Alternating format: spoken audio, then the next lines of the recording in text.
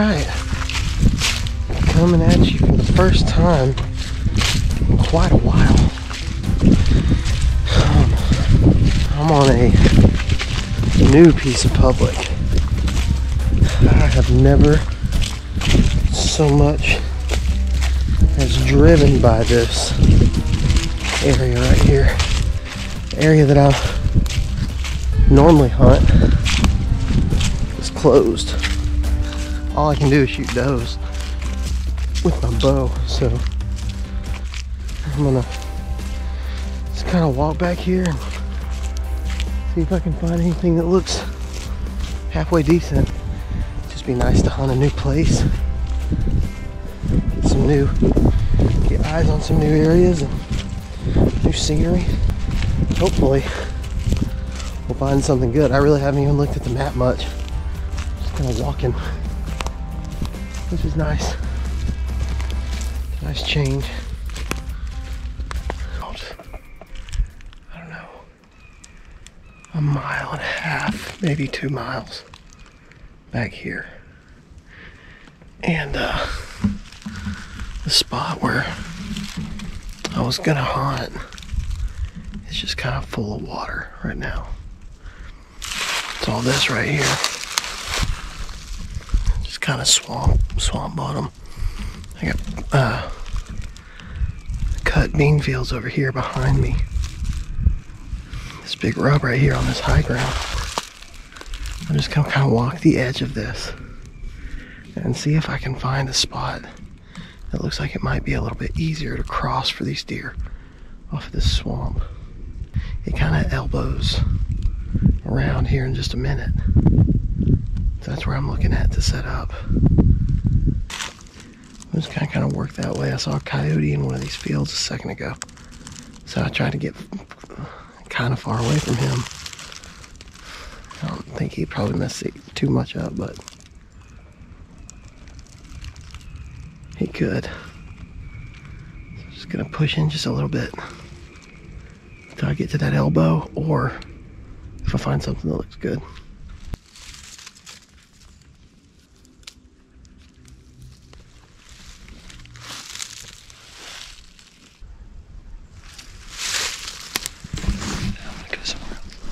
All right, so And came a little bit further up from that blowdown. I'm glad I did.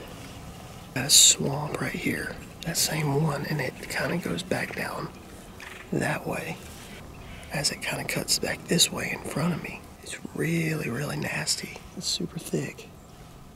And it's got a lot of water in it, but there's some high ground. And I got a real long stretch of woods right here going off to my left. Crop field behind me. And another one probably 300 yards in front of me. So here's the thing that makes this spot really interesting is there's like a, a dike type deal that cuts across the water right here. So it's a high ground. And it cuts across right here. I don't know how far it goes. I didn't walk the whole thing, but it is what it looks like is about the only spot that a deer could cross that water without getting wet.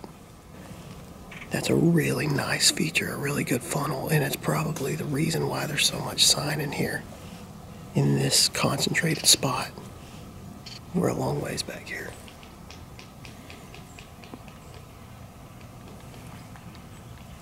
But I will kill a doe if I see one. If I see a buck, then I guess we'll just film it.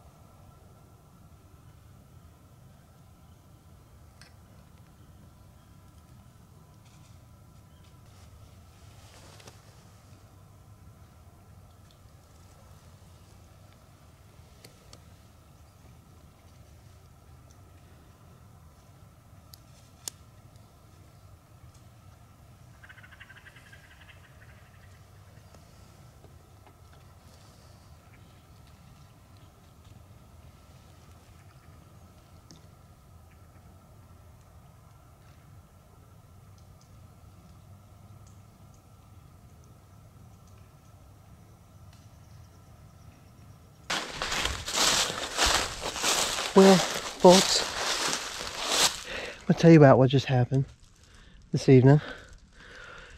In case you did not know, I'm a freaking idiot. So, you heard me say I thought I saw a deer. Thought there was deer over there. Got to look in, all of a sudden a raccoon pops out. I was like, oh, okay, well, that's what it was. I was like, well, I'll shoot him. That'd be fun. So I freaking shot him. I just, I think I got it on camera. I, I honestly don't know. He was standing right here. And I hit the stupid joker. And I know because of two reasons. One, there's blood underneath this tree. That thing climbed up. And I'm pretty sure he's dead up there. Well, that's not that big of a deal. I guess. I shot him and he went up there and died. Here's the crap. He took my freaking arrow up there. I don't know how. I guess it pinned him it pinned him down. He pulled it up out of the ground. Then went up there. Well, so while all that crap's going on, I'm sitting there watching him, thinking maybe I missed or something. I don't know. Because he climbs up the tree and he's just looking at me. I'm sitting there watching him. All of a sudden, three freaking deer ran off. And they were right, like right next to me. While I'm sitting there being an idiot. Thinking about raccoons. Oh my God. So, could have shot a deer, didn't shoot a deer. Shot a uh, raccoon. He took my arrow up there, and he's probably laying dead right up where that knot is. You can kind of see that knot in the tree. He's probably laying dead up there with my arrow.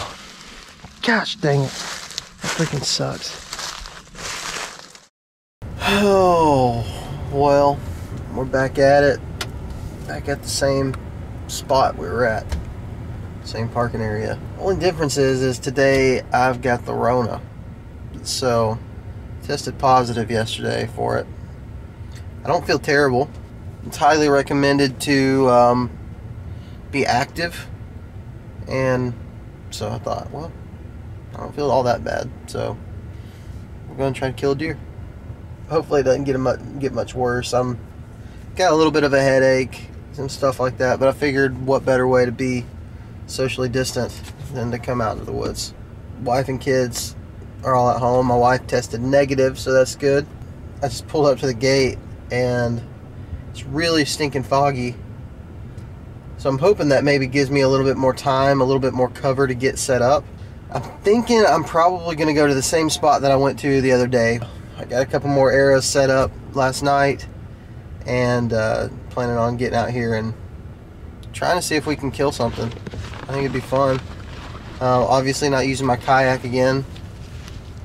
Um, even though, actually I probably could out here. It's pretty flooded, but uh, I wore my correct boots, so I should be able to just cross right through that swamp. No problem. But we can get out there, get our stuff ready, get out there and get ready to go.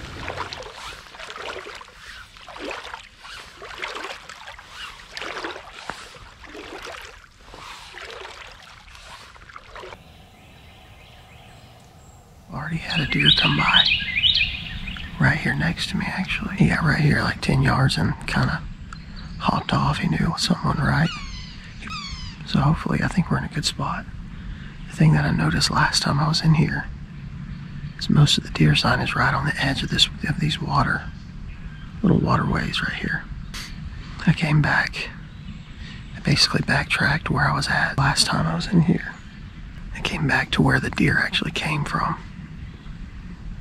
to a little pinch. There's a big crop field right here. It comes to a corner, and then this water right here. So I feel like these deer are gonna come right through here. I got right next to the water. My wind is supposed to be kind of blowing back this way. But first thing in the morning, and it's a cloudy day, my thermal should pull towards that water. I, I do think we're in a good area. We're in a good spot, good position, so hopefully be able to get something.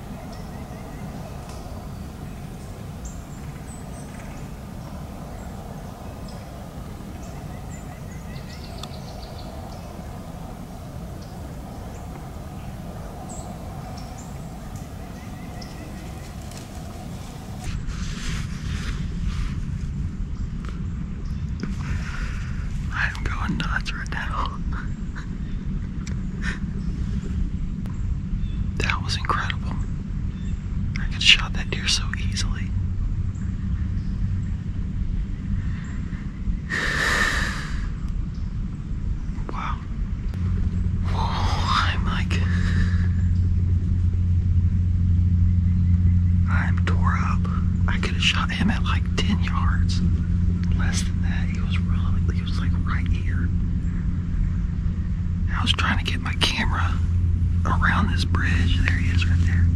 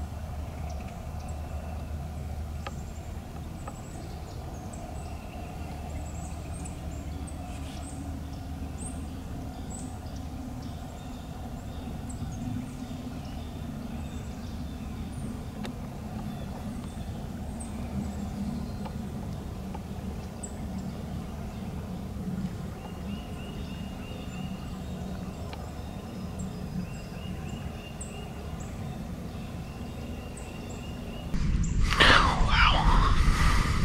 That was awesome. I need a doe to do that.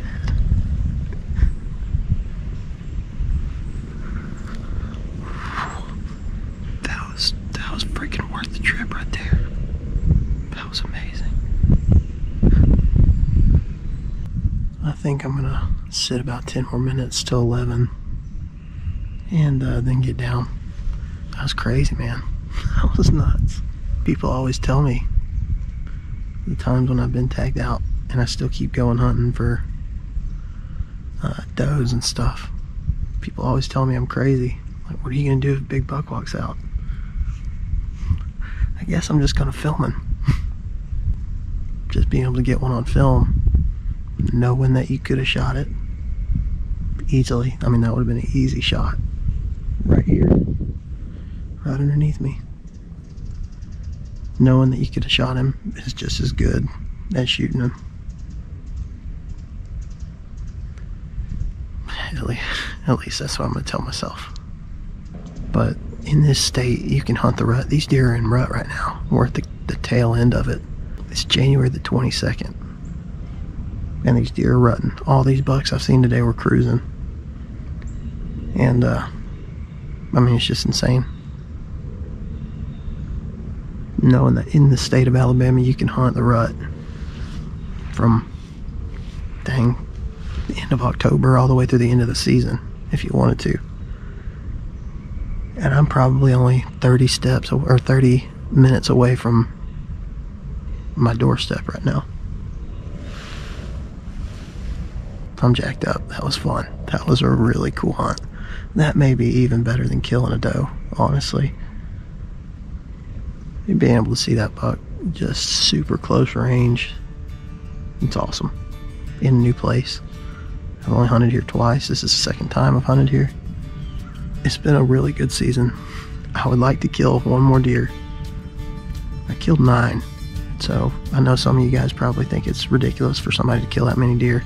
I give a lot away to people in the church and stuff. Um, but I've killed nine, and I would really like to get to that number 10 for whatever reason. That would just be freaking cool. But if it doesn't happen, it's still been a dang good season. It's been so much fun. But I'm gonna start packing up all my stuff and get going. Dang, that was cool. That was freaking cool.